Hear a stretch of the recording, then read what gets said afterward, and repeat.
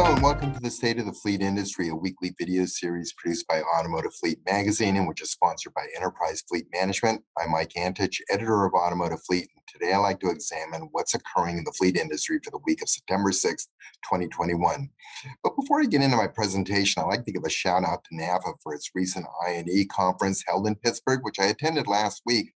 And despite widespread and last minute corporate travel restrictions, NAFA delivered an excellent conference with great educational content and a ton of quality networking opportunities for those in attendance.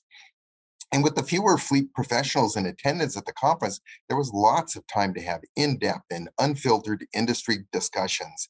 And needless to say, the number one topic of conversation continued to be the ongoing product constraints, primarily caused by the microchip shortage, which, as we all know, began to noticeably impact vehicle production in March of 2021 when the first assembly plants started to temporarily suspend production until their microchip inventories were replenished. And as we all know, this ongoing microchip shortage is having a devastating impact on the fleet order to delivery times. And I'd like to illustrate that by having you consider two eye opening statistics that I heard from one fleet management company about its 2021 model deliveries. First, for 2021 models ordered between October 1 of 2020 and February 28th of 2021. And remember, this is the period prior to the assembly plant suspending production. Of those orders, approximately 51% of those models have yet to be delivered to their ultimate destination, namely the dealer. 51%. So when you look at orders placed between March 1, 2021 and August 16th of 2021, altogether 92% of those orders have yet to be delivered.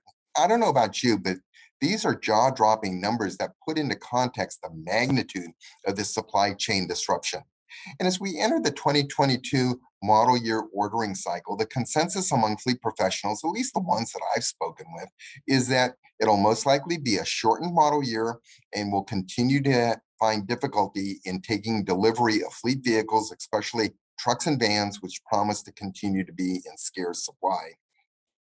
So when the 2022 order banks did indeed open, there was a spike in the volume of fleet orders that were placed earlier than normal, which is what everyone recommended fleet managers to do, and they did it. But the concern is that this high volume of orders for some models, especially those high demand models, will max out fleet allocation early and we'll witness a new round of earlier accelerated build out schedules in 2022, the same as we did in 2021. Plus, on September 2nd, just last week, Toshiba threw the industry a bombshell warning customers that its supply of power chips will remain constrained at least until September of 2022. That's one year from now.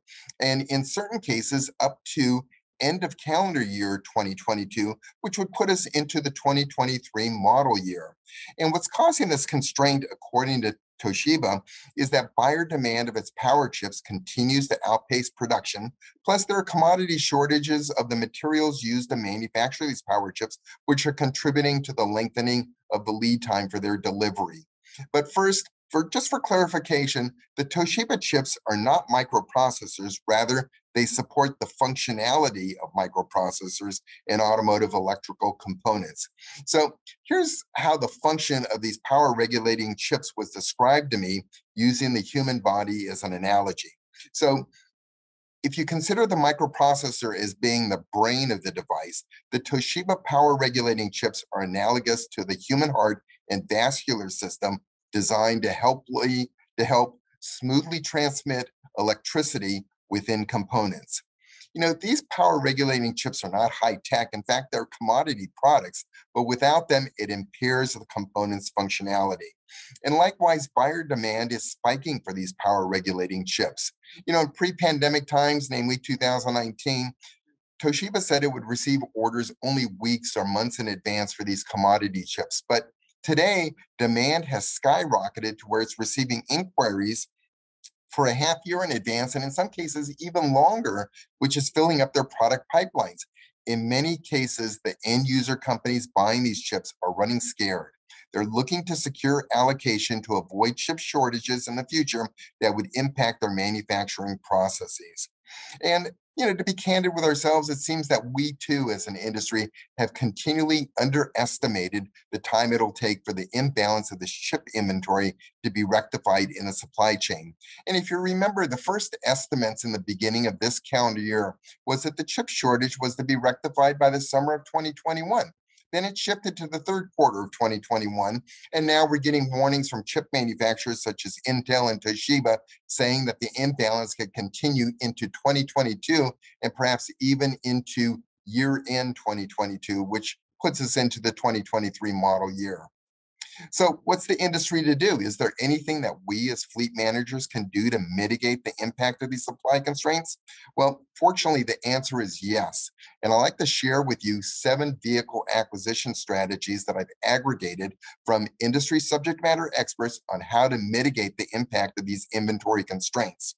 So, first, it's really critical to be proactive in your vehicle acquisition planning and budget allocation because the general feeling is that 2022 will be a short model year. So it's critical that fleet managers um, order earlier than in prior years and to be flexible with their vehicle choices. So strategy number one is to order early. However, this isn't as easy as it sounds. Uh, you know, it may sound obvious, but it takes proactive advanced planning to be able to order early. Now is the time to do that. Number two, be flexible as to what you order. In the past, when vehicle supply was plentiful, many fleets would demand specific colors, option, trims trim levels. That in today's environment may actually cause delays or add time to the order to delivery process. Second, be flexible as to the class of vehicles you need to acquire. So, for example, would a crossover be suitable as a substitute for someone who drives a pickup truck but doesn't need the cargo carrying capabilities? Most pickups are in high demand and in both the fleet and retail markets, while this may be less the case for crossover models, which uh, may have greater product availability. Number three, simplify your vehicle specifications. For some fleets, if practical and if it doesn't impact the fleet application, simplify vehicle specs in order to increase the number of sourcing options available to you that allow you to order industry wide from various manufacturers. Also, by streamlining vehicle specifications, again, where appropriate, it'll help move your product, your vehicles quicker through the upfit process. Number four, be decisive in your acquisitions and be quick to pull the trigger when needed and when the opportunity arises. Today's new vehicle market has limited inventory, so when vehicles are located or found to be available, you have to have the acquisitions pre approved or have management approval to be able to make immediate buying decisions. This is critical, especially when buying units out of dealer stock. You need to be prepared to make quick acquisition decisions, otherwise, you're going to lose the vehicle to a retail buyer. Number five, move high mileage vehicles to low mileage applications in order to extend their service lives.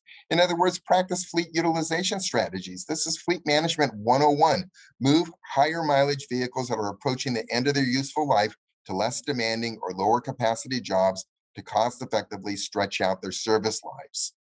Number six, budgeting. Mm. As you plan for next year's budget, it's important to anticipate that there will most likely be price increases across the board from the asset itself up through the upfitting process. Prices will increase. Mark my words.